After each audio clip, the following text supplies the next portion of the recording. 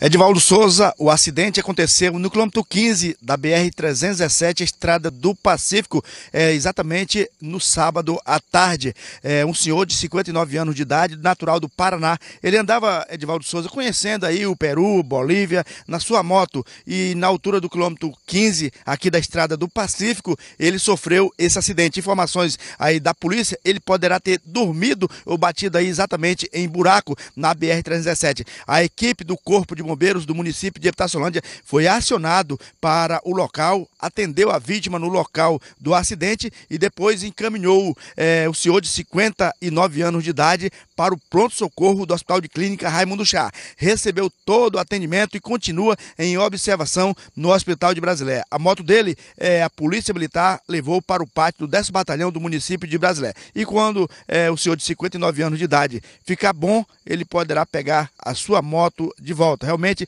um acidente que aconteceu é, na tarde deste sábado, aqui na BR-317, Estrada do Pacífico, do município de Brasileia, Albim Andrade, para o Gazeta Alerta.